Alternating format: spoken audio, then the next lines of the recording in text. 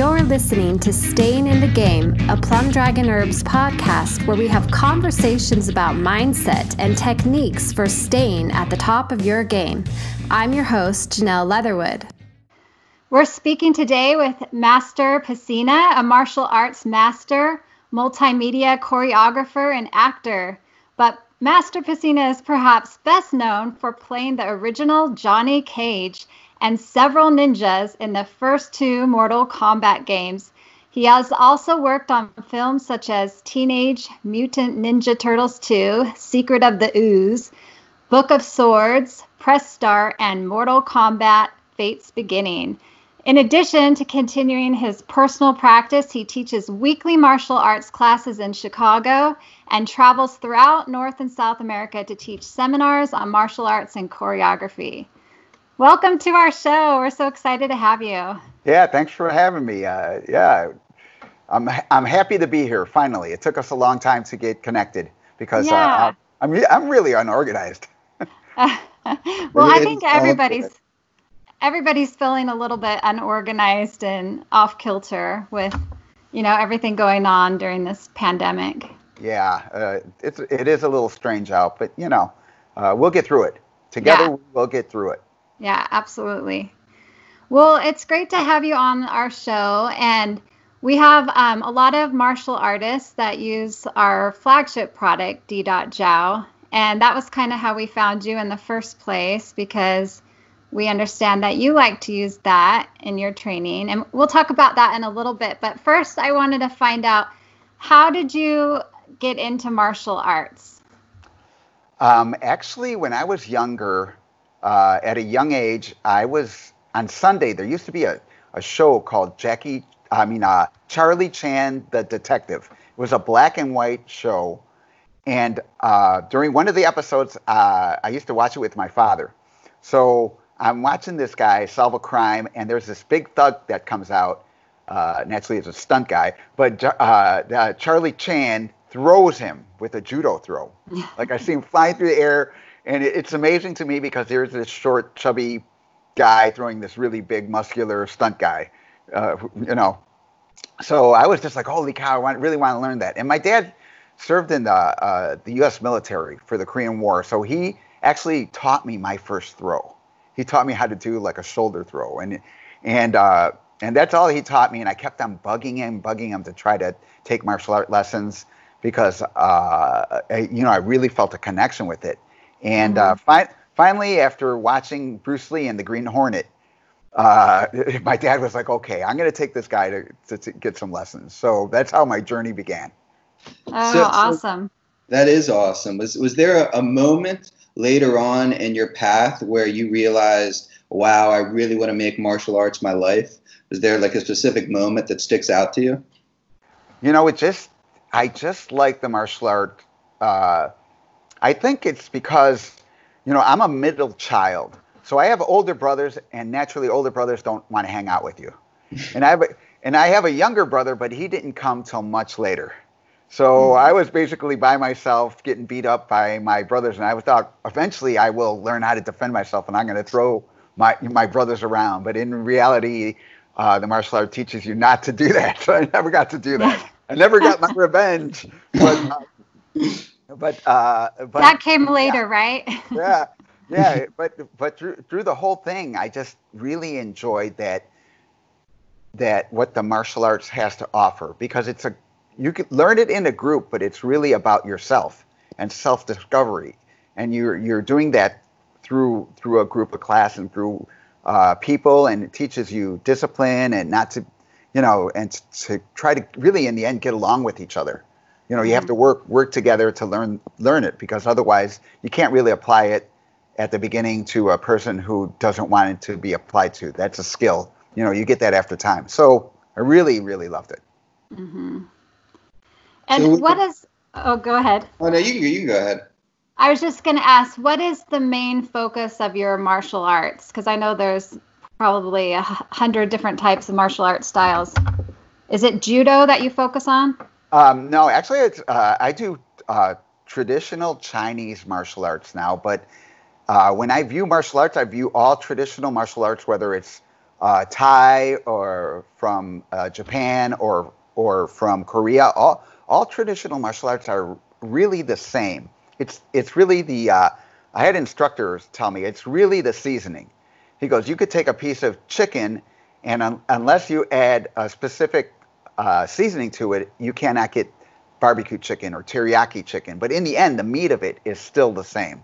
So with a traditional martial art, r- they're really all the same. It's it's when you do- dive into the sport martial art that makes them different. Because in sport martial art, you add, start adding rules. You know, uh, uh, so when you get to, and there's nothing wrong with that because we need that for martial arts to grow uh, uh and get get students.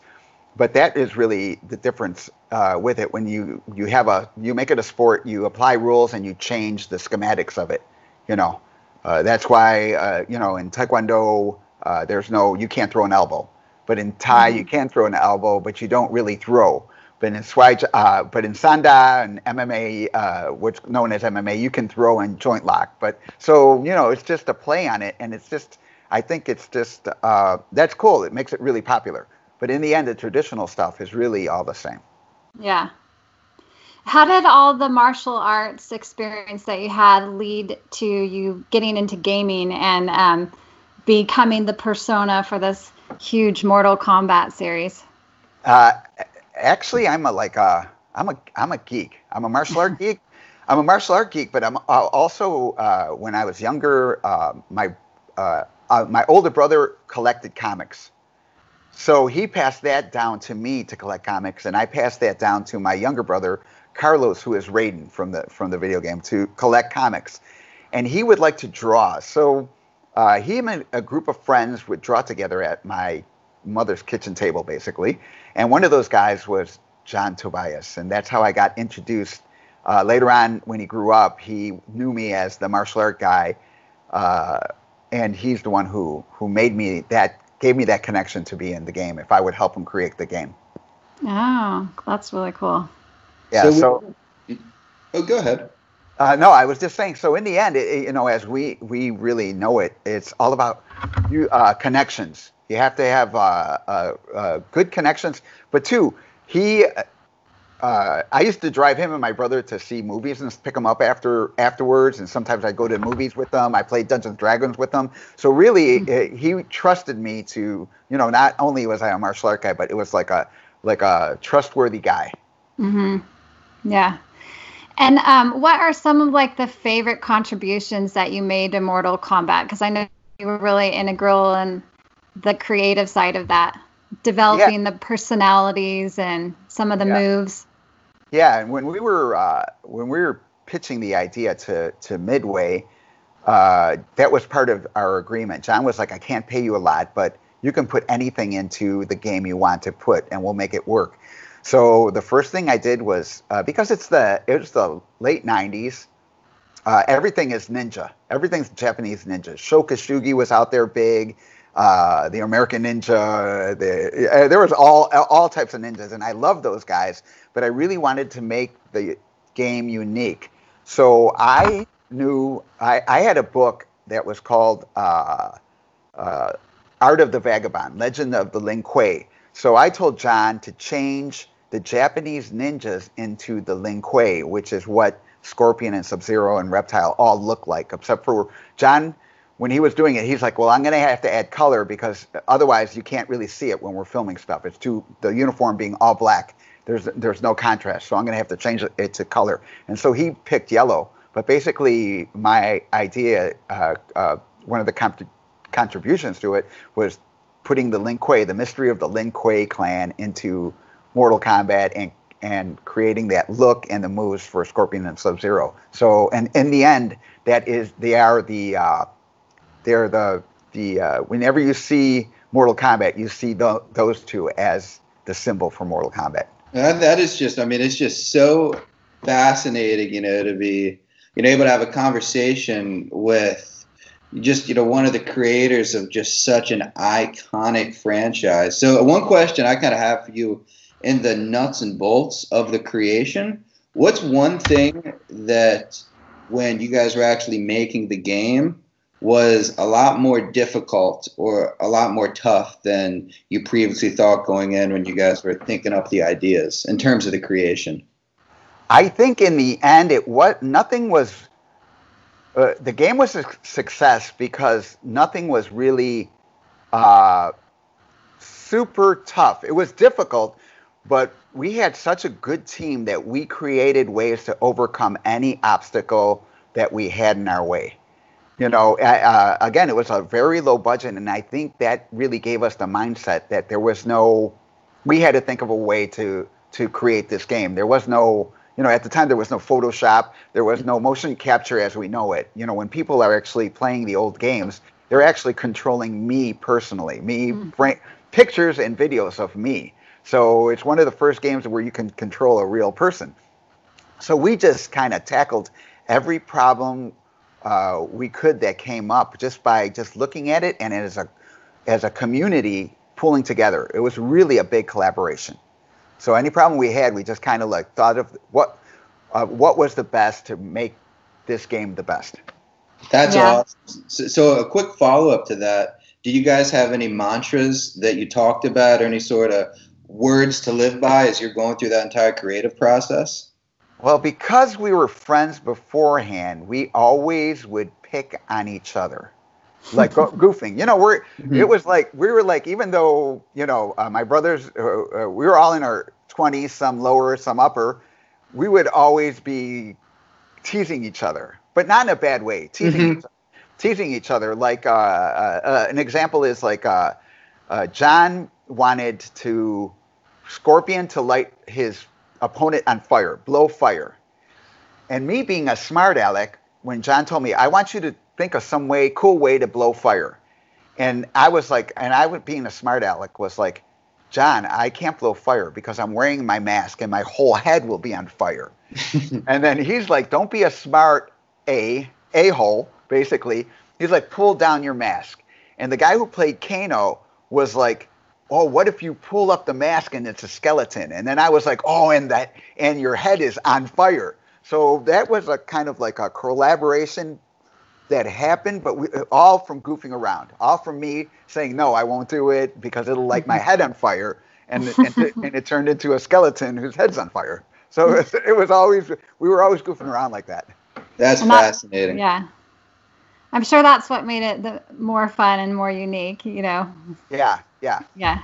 Now, oh, I was just gonna say. Now you've also done a lot of like um, stunts for movies and um, been in different films and I've I've heard you talk about you know maybe some films were more Hollywood than they were authentic. You know, yeah. Uh, what do you feel like needs to go into a fighting movie to make it look more authentic and less Hollywood?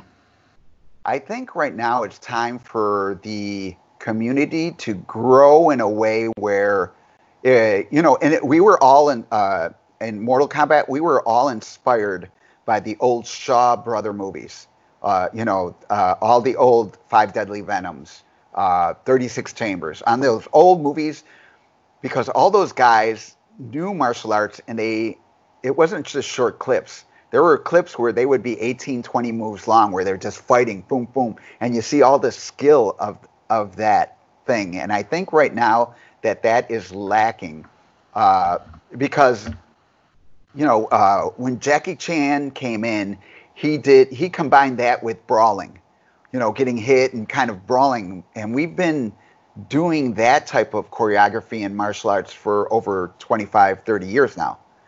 So I think that now that that's that standard should be changed back to having it more of like an artistic form uh, mm. of, of, of of filming as opposed to like the brawling, uh, less you know, it, it's cool. The stunts are cool, but that needs combined with the higher skill level. Yeah. I yeah. hope that makes sense. Yeah, it does to me. Yeah, absolutely. Um, which characters or like which people do you feel like inspired you? I guess you talked a little bit about that, but um, with in the beginning. But are there any other martial artists that inspired your work over the years? Actually, uh, uh, most uh, almost every martial artist who made a movie, I, w- I paid money to see, and I kind of learned something from that.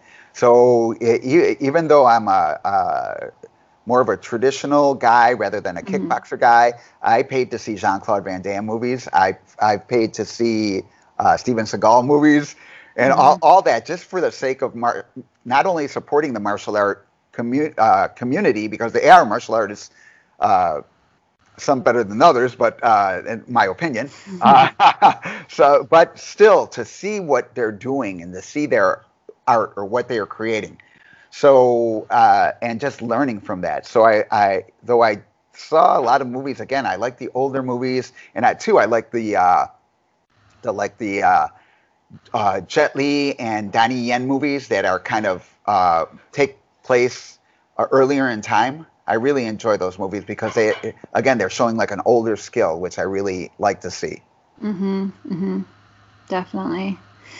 Uh, what do you think are like some of the biggest assumptions that people make about you that you know might not be true? Like, because they see your persona and you know like do, do people come up to you and expect you to be a certain way because of the characters that you've played i think more often that people are surprised i think because of my martial art background uh, traditional martial art background that after people meet me, they realize they're like, man, you're really approachable. You know, I have mm-hmm. people come up, uh, you know, at, at uh, events like Comic Cons and gaming events that are really shy to get my autograph. And then after I talk to them, they come back to the table like eight or nine times to have a chat because they're like, holy, holy cow, you're like a regular person. and, and for me, I think like, yeah, I am a regular person. I just, you know, got involved with a project that, that gave me a little bit of fame you know what I mean? Mm-hmm. But in the mm-hmm. end, in the end, my skin is just like you know your skin. It's you know a little rougher because I do iron palm training. You know, I use your stuff to do iron palm training every day. But you know, but basically, but basically, it's the same. Yeah. Know, same as them. So. Yeah. yeah. And what kind of like age group are you teaching? Like maybe they're too young to know who you are, but um, do you kind of incorporate some of your f- fun phrases from Mortal Kombat into your teaching and instruction? I I rarely do that because I think my students like to do that. Okay. They like they, they we, we goof around like you know get over here and yeah. you know and then we you know to work out or they just use those phrases over and over and over uh, again uh-huh. even even when you know afterwards if you know uh, if we're having a, a like a school barbecue they'll like finish him and come over and get another burger. You know, it's kind of you know it's they use it more teasingly, and I think they really enjoy it more than I do saying that stuff. Yeah, yeah, yeah, pretty funny. Absolutely. That is fun. I, I have a, another question about your you know growing up within martial arts. Were there any lessons you learned early on, whether it be from an instructor or you know even from movies? that you've kind of carried through your life as it relates to martial artists and martial arts in general? I have I goof around with my students and I'm I have these weird silly rules that I've actually uh, I, uh, rule number one: exercise makes you tired. so if you don't if you not exercise if you're not tired from exercising then you weren't really exercising. But they and they're kind of obvious. Uh, like rule number two stretching makes you more flexible. So people who complain oh i'm not flexible. Well you should stretch if you stretch more and two uh, i realized that uh, when i was younger i would rather do conditioning like rather have people kick me in the thighs and punch me in the stomach rather than stretch because stretching is really painful. Mm-hmm. So so it's those things sound obvious, you know, uh, like and also if you practice, you get better, which sounds, you know, people are like naturally, but unless you really practice, you will not get better, and that's mm-hmm. across everything. So I have these little goofing around things that I that I have, and then I sometimes I give them a number, you know, lesson number seven. And they're like they kind of look at me exercise makes you tired. You know the, uh, the other day it was lesson number one but now it's number seven. So it's always never really organized. But but i have those things that uh, really uh, unless you do them you really don't really embrace them. Because mm-hmm. exercise does make you tired. A lot of people like exercise gives me energy. No, after you're done with exercise, you're usually tired, but later on you'll realize, oh, I have more endurance. So it's kind of yeah, it's, it's a weird philosophy, but that's yeah. my that's my basically how I look at it. I love yeah, that. Yeah. Yeah. I, I'm going to use those with my kids. right. when right. when they complain to me that they're too tired to work around the house, I'll, I'll say, "Well, work is supposed to make you tired." yeah, it, it, but it's true. It is yeah. 100% true. But then later on, it'll give you like that endurance, that energy. You know, yeah. and then you realize that work is not that bad. Everybody has to do it. Mm-hmm. You know? Yeah. So you mentioned having like a couple half gallon jugs of the Jow in your uh, yeah, gyms and stuff. So what do you like to use and how do you guys use it in your gyms and training? I think I, I haven't ordered from you guys in a little bit because I like to order in big, bigger batches. Mm-hmm. So I usually keep two half gallon uh, jugs at the school and a half gallon jug in my home. Mm-hmm. and they and, and again, uh, uh, I make sure that everyone who is going to do any type of conditioning uh, apply it because it's really important for you to keep your dexterity. You know, uh, without your product or without a jow or fam, or whether you have a recipe. And I've just finally, you know, I have a recipe, but I just find it easier and and you, you have guys have a, a high standard. You know, mm-hmm. I've tried a lot, I tried a lot, of, a lot of other jows out there, and they don't. You know, I don't want to sound like I'm kissing your butt, but it's true. But it, that's why I, I kind of use use it because it, it's really good stuff, and people need to apply it so that way they can write and not have those. Uh, keep your circulation and keep your normal. You know, not everybody's a professional martial artist, and their hands should become hammers. And it's important for you to use uh, liniment to keep your training and to have a normal, inconspicuous life. Yeah. You know, uh, yeah, your hand, you know, uh, I don't know if you see it, but my knuckles are pretty big, but they don't look like some of the older guys who don't use a jow and their hands look all kind of gnarly. Uh huh. So, two, we use it for, you know, to, uh, to bruises. Uh, if, you know, they start getting a bruise, you got to apply it, you got to rub it in. And, uh, and I think it's really important for, for any martial artist to, to apply it just in case. Yeah. You know, at my school, if somebody's going to be, you know, touching hands or, or conditioning, you got to put it on before and you have to put it on after because mm-hmm. uh, otherwise, when you're complaining, don't be complaining. yeah. There's another rule. Well, thank you very much for the praise, though. I greatly yeah. Appreciate that. Yeah, well deserved. You guys well deserved. What are what are some of the more common injuries that you guys are trying to prevent? more like uh, more just bruising because uh, you know once you with especially with hand conditioning or body conditioning if you get a bruise then you don't want to condition because you got a bruise and that's not good to condition you know it could become a blood clot and if it travels you know to to a certain part you can really get injured yeah so so generally uh, more more bruising from hitting or bumping or that general conditioning like right right now at this point we don't really have any uh, uh I make sure that uh, there's good supervision. So people rarely, I think in the last maybe 20 years of training, I had one person break an arm. Mm-hmm. And, and, and it was actually a kid who did tried to do an aerial cartwheel off the floor and ran into a chair. And oh, then wow. so when he hit it, he put his hand down. Wow. And then he broke his wrist. But that was the only injury that I've really had in the last 20 years because I make sure that you know the instructors or myself really supervise the uh, the classes that are going on because again you, you know uh, naturally I can hurt somebody because I've been doing martial arts for like 50 years. So yeah. naturally, and two, you have to be seasoned enough to like know that no, we just shouldn't. You know, we're here to guide and protect people, not to bully them. Kind of like that. Uh-huh you know, uh, the bullying a person is the lowest skill, you know. So we, uh, at least in my school and my, in mm-hmm. my life. So we really try to watch out for each other and, and always remember that everyone learns differently. So you might excel at learning one thing, but then you slow down worrying, low, uh, slow down with some part of it. But that uh, the person next to you who was slow at the beginning catches up because in the end, it's it's it, that's what happens. There's nobody who really gets something you know, uh, in a short period of time. That's why we call it kung fu, skill in time. You know, uh, so in the end, just you know, t- train uh, at at your pace, but train for a long period of time. Mm-hmm. I hope that makes sense. No, absolutely.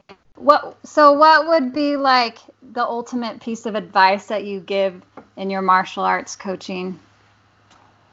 Uh, you have the instructor will give you tools, and it's up to you to use those tools.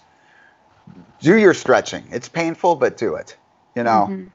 no way around it. Uh, you Yeah. know, if you're going to condition, you have to use the, the jow, and you have to be sensible about it. Don't don't punch bricks. You know, build up to whatever. If you're if in the end you want to really have the iron palm, then you have to go through the steps to to get that. You just don't go, you know, crazy and just try to jump all your steps. They these these are things that are proven through a cycle. So nobody ever accomplished it. Uh, you can't get to Z without going through B. You know, Mhm. so do your steps. I would say, you know, be patient and follow your instructors, uh, your instructors' uh, guidance. You know, my Yeah. one of my instructors, you know, uh, uh, during it, you know, during like weapons staff training, I would hit myself, and he's like, "Don't hit yourself," and and I didn't realize that he was just telling me because his English was bad. He was a Chinese guy that I should go slow enough to develop the technique as opposed to going all squirrely like I am and bashing myself in the head, you know, with the staff. So he's Yeah. just don't hit yourself means slow it down and do your technique properly so you don't hurt yourself.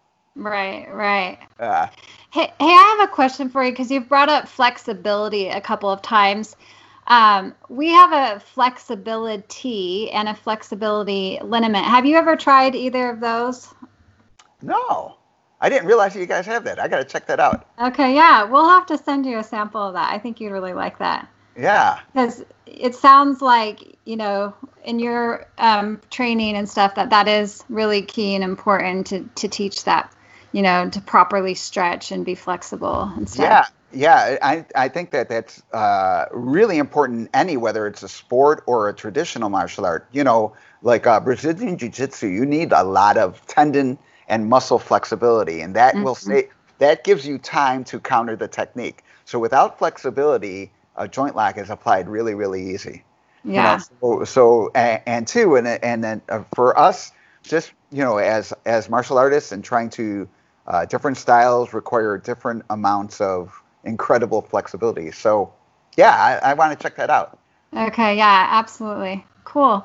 I know I need to take your advice because I'm always complaining that I'm not flexible, but I, I don't stretch enough, so that's the problem. Yeah. If, if you if you stretch, you'll get flexible.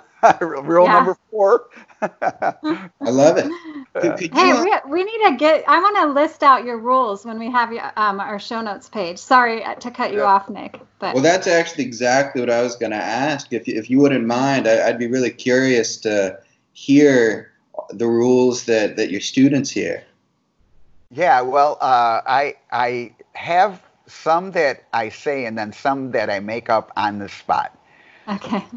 Like uh, like uh, uh, uh, a rule is again, uh, exercise makes you tired.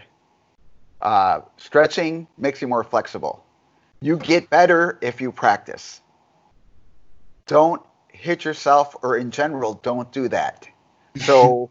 When somebody lands incorrectly from being thrown, they're like, "Oh, I hurt myself." Don't do that. Uh, take you know don't tr- if some if you're in a class don't fight being th- resist too much being thrown. Because one you're learning you can learn more from falling than than the other guy learns from throwing you you know Mhm. the technique of throwing. So that so i kind of uh, say th- uh, that don't do that. You know when they're like ouch don't do that. You know oh i hit i hit myself with the staff. Don't do that you know i bash myself with a sword. Don't do that. So they sound they sound crazy for people don't do that until they realize like oh you know i need to watch my technique. I w- need to watch the way i i fall. Maybe i shouldn't have resisted so much to make it so blunt you know because it's not always about being you know uh, uh, you know not uh, being the hammer. Sometimes you have to be water and water can can shape a mountain so different things like that and and two uh, being a traditional martial artist we do have the uh, we are inspired by our metaphors of being which are are like uh, stand erect like a pine tree.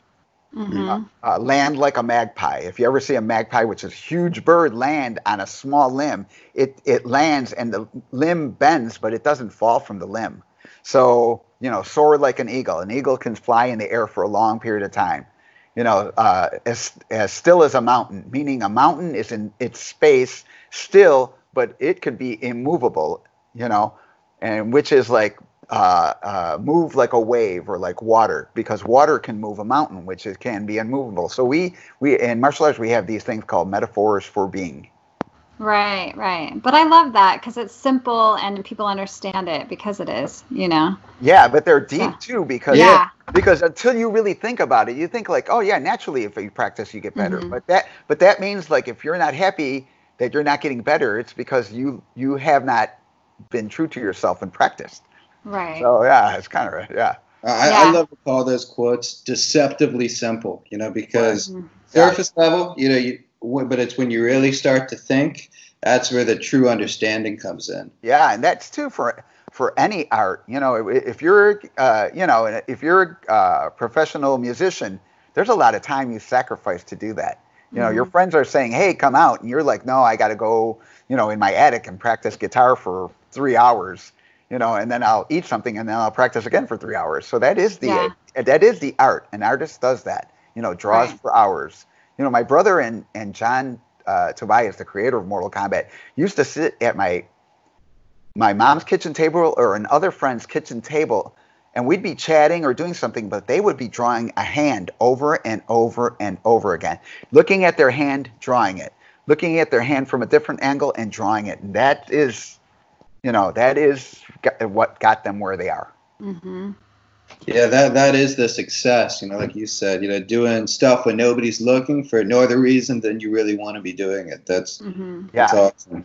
yeah yeah too uh, uh yeah sorry for for taking up the whole conversation but all good. No. my my uh, one of my instructors at the time he used to do martial arts in China. There were only three professional martial art teams in all of China, so they would pick a team out of regions. So and two, it's China. So you know, uh, two out of three people practice martial arts in China. So when they're building a team, they built the, it's really really elite. So my uh, my instructor, I'm giving him a plug, uh, Go Hua, won an all-around amateur title, but it was like they were going to form more teams in mainland China. So whoever won these competitions would get to form a team in their province. So he won all-around champion. At the, and at that time, you had to uh, do forms, do weapons forms, do uh, hand forms, fight, fight with a weapon. So you really had to know your stuff. So he won first place in his division for doing all of that. Wow. So then the Chinese government was like, here's a bunch of money at the university uh, he was training at, and you get to build a team. So he said that when it was announced that Wuhan was, uh, which came out with the pandemic, but anyway, Wuhan was going to have a national team, he said over 2,000 people came out to try out for the team. Wow. And he's like, and these 2,000 people were already the elite. And so he was like, he was like, he was with his master, uh, Wen Jin Min, was one, which was one of the creators of modern contemporary uh, uh, wushu. So what you see now is designed by five famous masters, and he was one. His master was one of them. So uh, he was like, man, how are we going to go through these people because we only have a weekend to go through these people. And he was just like, first thing we do is you look at the person. When you're talking to them and giving them instructions, the people who are just standing in place, we cut. And the other, the people that you see stretching or going like this or stretching their arms, we automatically take them and we, we move them to the next step. So hmm. he said within the first thing, we cut it down to 300 people.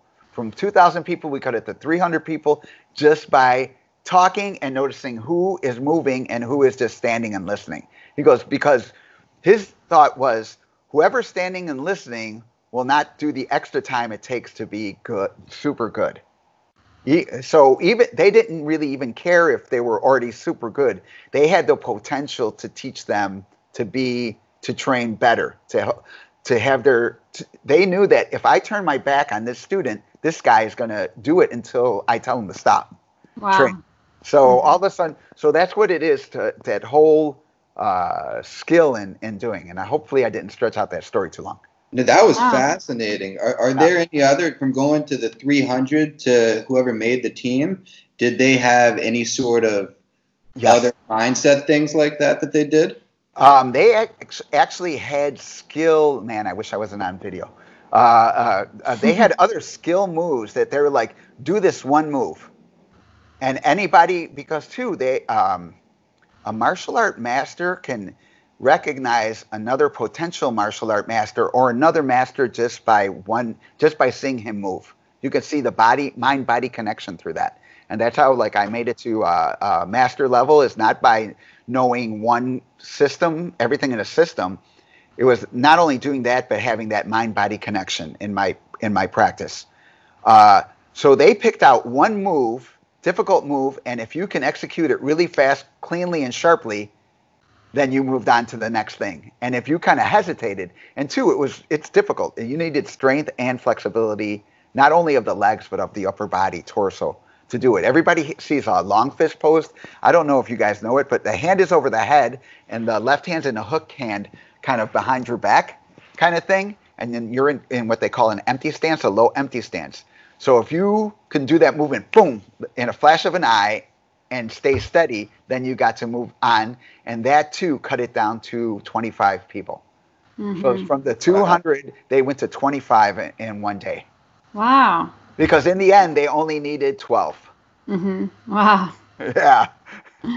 So you, you, were talking w- within that a little bit about actually before you go on, I, I have to learn how they get 25 to 12, and then I'll ask the next question. the the 25 to 12 was whoever can survive they were they started doing a workout. So whoever can last uh, two, it, it, it, was in China. Like when I uh, trained in China, I got it was okay to get hit by a stick, mm-hmm. you know.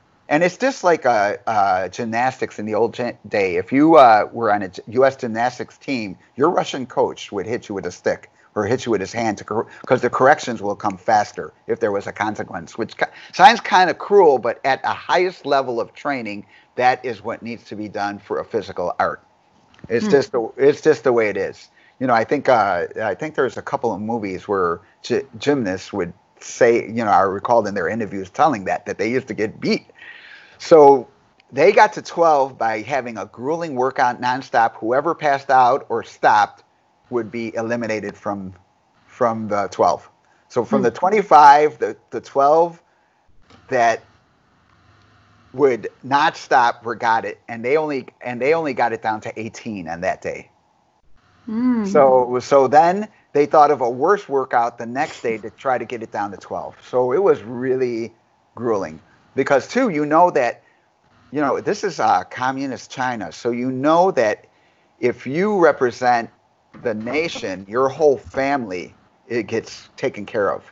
So it was not only you making the team, but they knew that guess what? My mother and father will get extra meals, better housing. My siblings will get a better education. They'll be able to go university. Er, my whole family is riding on my shoulders, and I am only 12 or 13 years old. Wow. And they, wow. Yeah, they understood it. And so my, my follow up to that, you know, I found that there is this big undertone of mindset.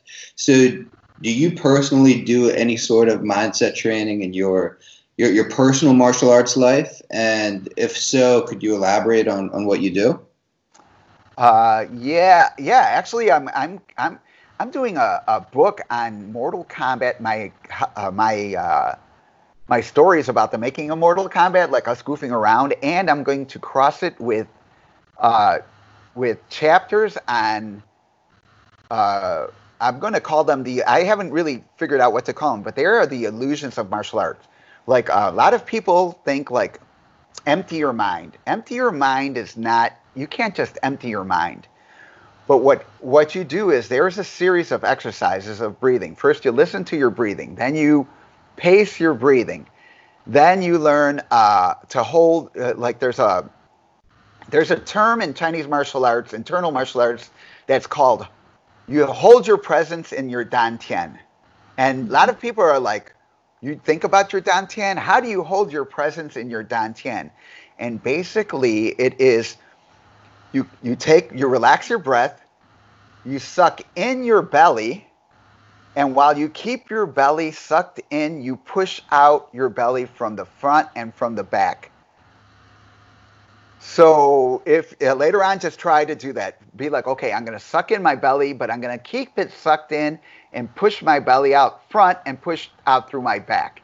And you're going to realize that that exercise is going to call call all attention to what you're doing, and it's going to empty your mind.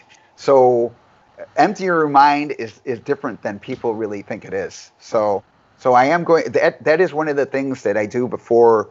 Uh, actually, any internal martial art has that in it, uh, as well as as to regulate your breathing and also to keep your center of mass contracted and ready to pop, because everything comes from your abdominal and your your uh, area uh, outward are the biggest muscles. So if mm-hmm. you use your biggest muscles to contract, you you can hit harder. Hopefully that mm. makes sense. Hopefully yeah. that makes sense. So now that is let us know when the book's are ready. That, yeah, yeah. So I have different things like that, and different things like uh, another thing is like which is to do with your actual product is when you're training iron palm in the old days because you're hitting iron and steel that resident that that uh, your body absorbs part of that part of that uh, iron into your skin. So your your hand can really become a thing of iron. And without without Dit Da Jow, you won't be able to use your hand for anything else but smacking things, you know, because you'll lose uh, the mobility of it. So it's important for when you actually do iron palm training that you use the liniment because that increases the circulation, and so that helps get the that the residue of that iron out of your out of your body because it could be harmful. So uh, things like that. Yeah, things like that. That's why you need a proper jow in iron palm training or just in general training because your mm-hmm body will absorb that uh, steel, that mineral. Wow, I never heard of that before. That makes perfect sense, though. Yeah, but yeah. yeah. Yeah, and again, that's an illusion or a myth of mm-hmm. martial arts. People are like, "Oh, I have iron, iron palm." Well, you could really have an iron palm, yeah. Which is not really what you want because you won't be able to wipe your butt because you can't fingers. yeah, so, yeah, that, which is not, you know, that's really not what you want to focus on doing. Even right. though you even though some of it will stay in your skin, the majority will leave your body, and you'll be able to use your hands uh, to you know do calligraphy or draw or even right. play video games. But anyway, that's yeah. uh, that's that's one of those things. Are there any other health practices that you do when like at home before you get to the gym, like a morning routine or anything? Um, well, uh, they, I try to obey. Here's uh, the the Eastern Bloc countries came out with a stretching routine that's embraced a lot. Now I see it. They retitled it over and over again, but it, this is what helped me get the splits. For if you ever play Mortal Kombat, you see Johnny Cage is notorious for dropping in the split and mm-hmm. punching pe- punching people in the, the nuts. and if and, and, if you look at that up, you'll see, actually see me. I've I put posted videos online of me slowly going in the splits because again the technology didn't let, let me allow me to just drop in the splits i had to do it slow so that way the camera could capture each frame very clean uh, uh, the movement otherwise it, it would be like blurry in the video game so i did it really really slow and that is that is part of that that uh, that program that they came out with, which is called scientifically stretching. There was a video on it, and in the morning before you brush your teeth or you're in, or do anything, uh, you're supposed to do these dynamic stretches that keep you flexible the whole day. So that's one mm. of the mm. things I do in the morning. Uh, when I'm do- done, usually after that, I put on the jow and I do my iron palm training. And then I usually have my coffee, and then I have later on I'll have a breakfast. But those are the things for sure that I I do those. Try to do those every day. Is to do that uh, that stretching, that uh, iron palm training and then do a little mindful meditation, hold the presence in the dantian, and kind of do my uh, do my martial art postures. They call them postures. Uh, different ways to hold your dynamic tension, I guess. Uh, yeah. The word for it. Yeah. So mm-hmm. kind of like kind of like yoga, but for martial arts. Mm-hmm. Okay. Is there anything that would people would be surprised about in your in your habits, maybe not so healthy habits, or? yeah, yeah. People people uh, uh, people are like, wow, you're because I'm 62, so a lot of a lot of people are like, uh, oh, you're you're in really good shape. That's just because I exercise a lot. Because my dieting is terrible. because I still kind of basically eat. Yeah, I try to eat organic, but I still eat like meat, and I still eat, you know, uh, you know, uh, I eat fish, so I'm not a vegetarian. I eat kind of what I want. I still like to have a cocktail. You know, mm-hmm. though, I, though I try to stay away from beer, I'll go for vodka or whiskey, something with a little less sugar or something like that. So I try to. I'm not as healthy as you know. When people see me eat, they're like, "Man, you're not really healthy." But uh, uh, well, I'm not. I'm. I, I just try to have. Uh, for me, I try to just enjoy life and not do too much, many things excessive because I'm already doing excessive things with the martial art thing. I don't need my whole life to be crazy. You know, mm-hmm. it, it, could, if you start thinking too much, you could have your whole life just controlled by your eating and your exercising. And that's, you know, you have to do that in the moderation that you think is moderate. You know, other people might think like, oh, that's excessive. Or other people might think that that's not enough. But that's right. not that's their own business. Yeah. And, and, that's one of the lessons in, in that I give my students. Another uh, quote: "Mind your own business, kung fu." Mm-hmm. You know, you don't worry about what the person next to you is, how many times they do it, or how low they do it, or how hard they hit. You just do your own business. Just do it yeah. to, to whatever your body can do. It is what the goal is. Yeah. You, you know, this is not a competition. You know, yeah. it, it, it is about you. Uh, uh, another thing I, I use the phrase consciousness through combat. You just you it sounds like two opposing things, but in reality, you're using the exercise to be conscious of the technique, which will make you conscious of the body, which will make you conscious to uh, what you want to reflect on other people. You know, mm-hmm. uh, uh in Yin two, it's not we're not saints, so you can't help everybody, but you should be helpful when you can. And right. two, in turn, you have to learn to accept help from others. So mm-hmm. yeah, it's kind yeah. of weird. Yeah, I sound like an old guy. So no, I'm looking forward to the book. I'm telling you, that, that, this is great advice. Yeah. So. So, what other um, endeavors are you working on? First, wait, before we go into that, how many hours are you training a day? Would you say? Uh, uh I do. Uh, I personally, like during the pandemic, it kind of slowed me down because in the morning after I did what I described, I would go to the gym and lift a little weights and do a little cardio maybe for an hour, hour and a half, and then I'd go train in martial arts for myself for two hours. And then I'm a hands-on guy, so when I teach, I I watch them, but I also do it with them, so they know. Uh, that way, they have. Uh, that way, they have, uh, for lack of word, uh, uh something like a. They know, like, holy cow! He when he tells me to do 100 sit-ups I'll, I, will i will do it with you. I won't just say you do it and I'll just watch you. No, I'll I'll do that with you. Anything that I know is challenging, I, mm-hmm. I will do with my students. So to t- kind of inspire them to be like, oh, that way. Oh, if if the old, you know, a lot of times when they, they uh, my students want to give up, I'm like, if the old guy can do it, mm-hmm. you can do it because yeah. you know if they're whether they're six or whether they're 55 that's still younger than me. So you got you got to also do it you know. Yeah. You can't, you can't let the old guy beat you. That's yeah. awesome. Yes. yeah so i will train like that throughout the day with different clients private clients or with the class. I'll mm-hmm. i'll actually do a lot of things with them. Yeah. Oh, i'm sure they love that about you. Yeah, it's, it's craziness. It's crazy. Yeah. Yeah. I wouldn't uh, uh, uh, again, and that is my. Uh, I chose that for my life, and I wouldn't recommend it for everyone's life. Mm-hmm. So you have to really be mindful and think if that's what you want, then you should do it.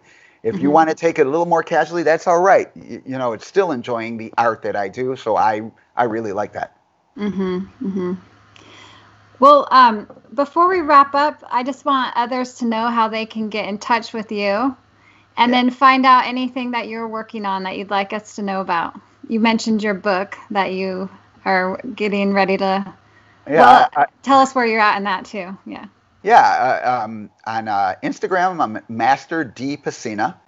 And uh, Twitter is Master Pesina, and Facebook is also Master Pesina. Uh, my website is Master Pesina, so my brand is really Master Pesina. Uh-huh. It, and and two, that's more of a brand than who I am because I, I uh, it's uh, uh, people like to uh, study under until they really get deep into the martial arts. They they like to see that that veil as master, you know, mm-hmm. and when mm-hmm. they when they they they they like that.